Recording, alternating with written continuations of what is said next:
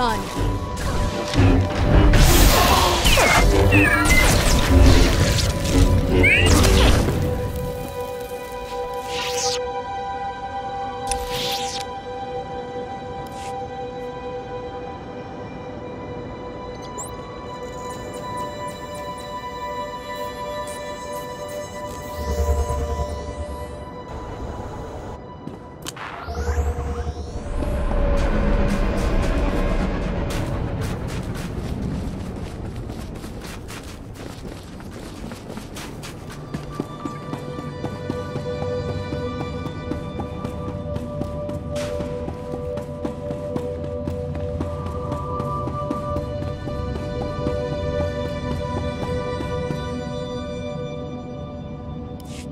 You're just in time. We're discussing our final attack plans.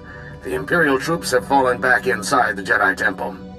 Darth Arho refuses to surrender. He knows it could take weeks before we break the Imperial defenses and reclaim the temple. Fortunately, there is another way in. An underground escape tunnel built centuries ago. We need you to infiltrate the temple through the escape tunnel while we engage the Imperials outside. The Imperials have had plenty of time to search the temple.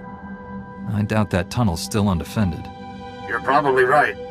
Our offensive will draw most of the defenders away, but I'm sure you'll still have plenty of imps to deal with.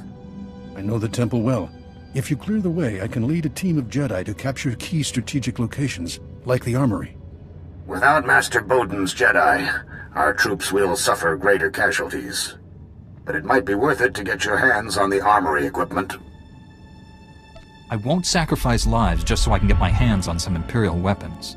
Then we'll engage Darth Arho's Sith followers, while the rest of the troops take on the Imperial soldiers. What about air support, Commander? The Sullustan pilots are itching for a chance to avenge Yet Jubb.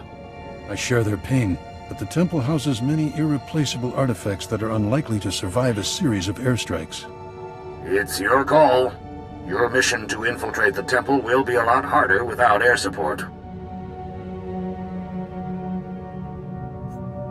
Those artifacts could turn out to be useful in our war against the Empire. We can't risk having them destroyed. You heard the Jedi, Bradber. Keep the Sullustans grounded. Copy that, Supreme Commander. Here is the location of the escape tunnel into the Jedi Temple. Go there now. I'll send you updates on the progress of the battle. Good luck.